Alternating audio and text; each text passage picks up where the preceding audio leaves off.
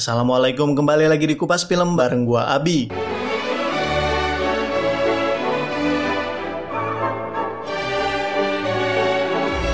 그날 거기서 살인 사건이 일어났어요. 제 여동생도 거기 있었어요.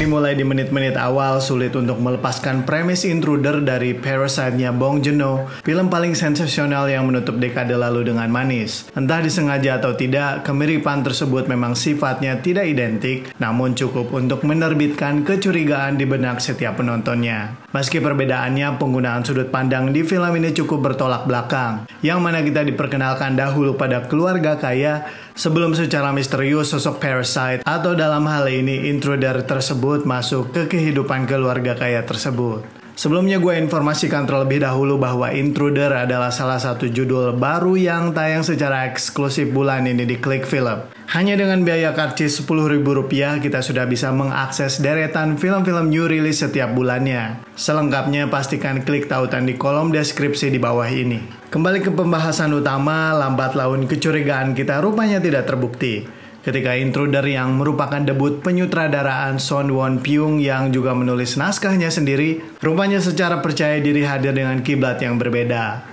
Ketika Parasite hadir dengan multi-layer naratif yang sangat kaya secara tekstual dan kontekstual mengenai gap antar kelas sosial, di balik gelaran presentasinya yang bertensi tinggi dan pace yang cukup ngebut, Intruder rupanya masih cukup jeli untuk repot-repot menyisipkan subtext yang cukup impactful mengenai dilema papa-papa muda yang senada dengan yang pernah dihadirkan Spielberg di Hook nyaris 30 tahun yang lalu.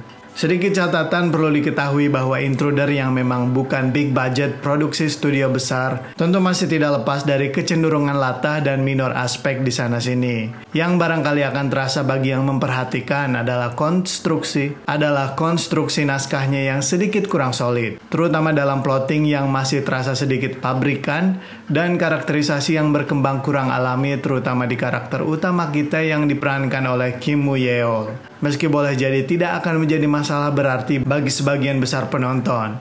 Ketika presentasinya sendiri hadir dengan pacing yang ketika presentasinya sendiri hadir dengan pacing yang memikat, greget dan cukup menghipnotis. Dan seperti biasanya, elemen dramatiknya tidak pernah absen di film-film korsel tipikal, yang beruntungnya dieksekusi dengan hangat dan emosional. Sekali lagi, Intruder hadir secara eksklusif di Klik Film bersama judul-judul new release lainnya di bulan ini. Untuk tautan full movie dan promo berlangganan yang tersedia, pastikan klik tautan di kolom deskripsi video ini. Sampai jumpa di review berikutnya, boleh setuju boleh tidak.